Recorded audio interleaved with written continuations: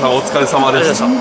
すごい風の中2周選考どうでしたか？いやちょっと別府らしい風が自分ちょっと直当たりしたような感じです。はい。で前県日がちょっと穏やかだったんですけど一転して。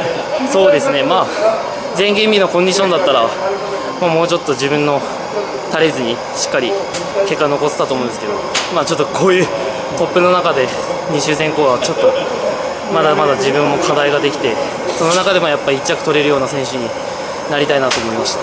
まあ、結果あの地元ワンツーでラインワンツースリー。あそうです。ねその辺はもう100点だと思うんでまた明日以降これをつなげれればなと思います。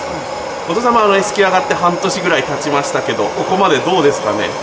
そうですね。まあそのなかなかやっぱり S 級の方は強い人ばかりなんでなかなか結果は出せないんですけどそれでも自分のスタイルは崩さずに、まあ、今後もこの課題を、まあ、どんどんどんどん上の人たちに上の人たちと戦っていく上でちょっと勉強していく意味で今後も頑張っていきたいなと思います。まあ、地元勢との連携が連日あると思いますが。そうですね。まあとりあえず今日はほっとしてまた明日に切り替えて頑張りたいと思います。あと3日頑張ってください。ありがとうございます